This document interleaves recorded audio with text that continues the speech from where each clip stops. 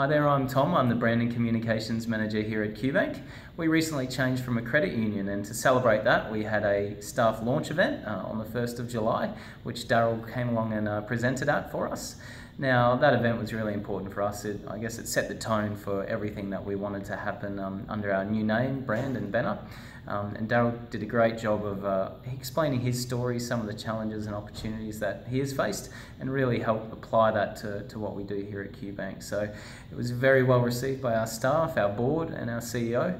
Um, and most certainly, I'd recommend Daryl to come and do something for your organisation too.